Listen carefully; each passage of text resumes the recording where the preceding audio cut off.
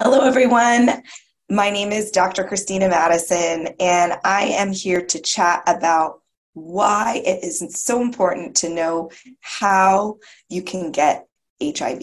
So remember, this is something that can be transmitted via sex or from injecting needles from someone else who is HIV positive. You can't get it from a toilet seat. You can't get it from kissing. You can't get it from hugging.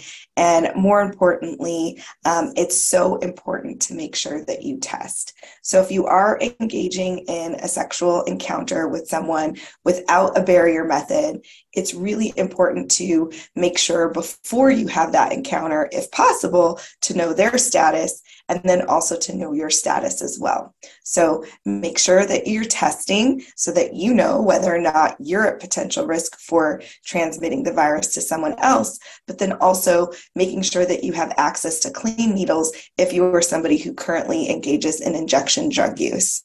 So again, you can't just get HIV from, um, you know, touching something um, on an object or um, touching a substance. There has to be a way in. Um, as one of my favorite colleagues used to say, a sore is a door. So you definitely have to make sure that there is a way for the virus to get into your body, as well as that you're being exposed to one of the substances in your body that the HIV virus can be inside. So that includes blood, seminal fluid, pre seminal fluid, rectal fluid, vaginal fluid, and breast milk.